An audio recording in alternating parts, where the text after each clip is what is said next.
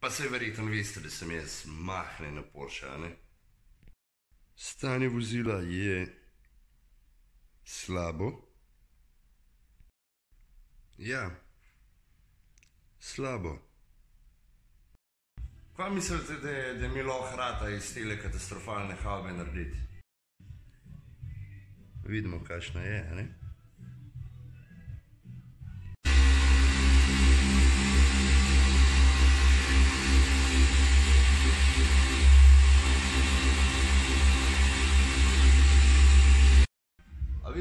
Razlike?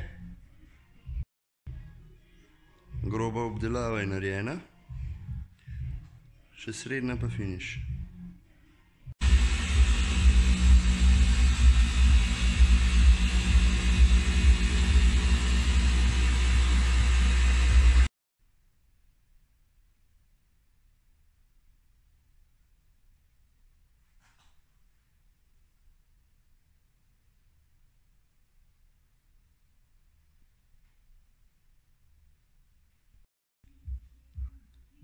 Hej, oj. Evo, Porsche spoliran in pripravljen na nanos končne zaščite.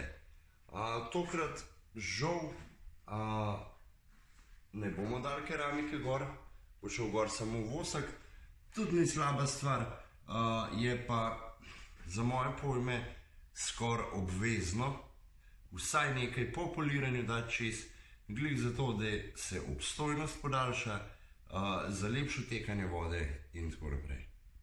Gre pa gor ta zadevca, to je fuso, meni všeč, uh, zato ker je zelo, zelo, zelo hidrofoben, voda dol odteka, uh, pa še to šanso samo, a vidimo, zadnja izdaja.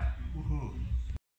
In evo, vosek je tudi že gor, uh, naj bi mu obstojnost eno leto ob pravilni negi in vzdrževanju, zato ker vsako stvar, če hočemo, da dalj cajt, da se gora obdrži, a, da deluje tako, kot more, je vsako stvar treba vzdrževati, negovati, delati tako, kot je treba. Smo mu pa ekstra za dobro voljo uh, prvi steku premazali s keramiko, ki poskrbi za ful dobro odtekanje in tam nad 50-60 ne rabiš več brisalcev, zato ker to se prši.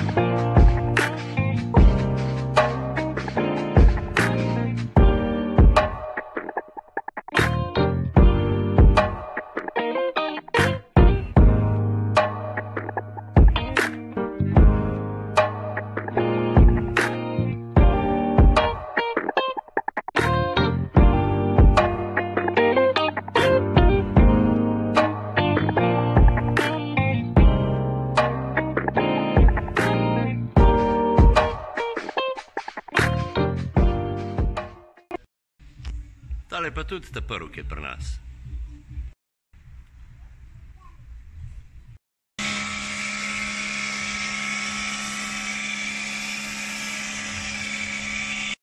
Ja, kva imamo pa zdaj?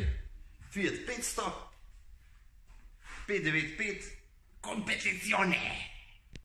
Enostaven tretmajček za tegale, osnovno poliranje, keramika, keramika na stekle, platišča, pa še lepše.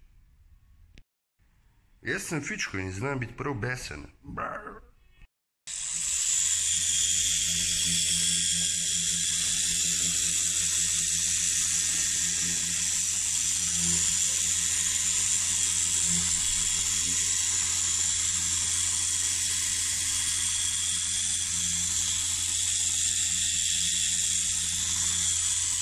Spolirali smo ga, razmastili smo ga, pripravili smo ga za nanos.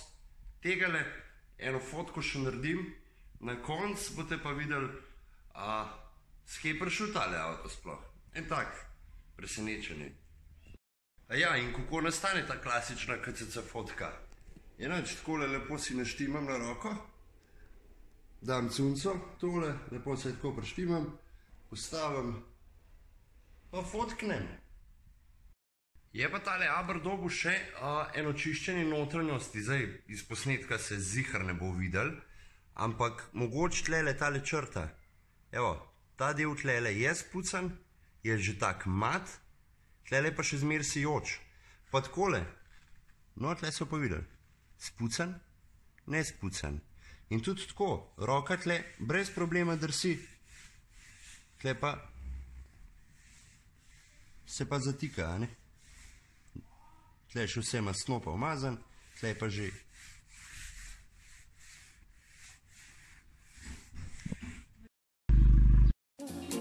Come da venga vedi I love you Papà l'americano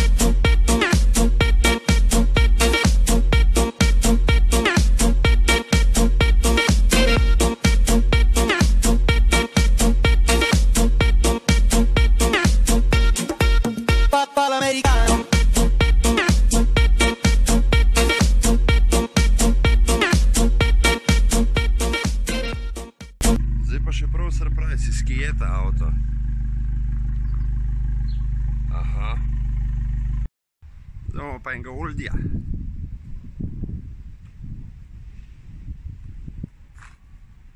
Je, je.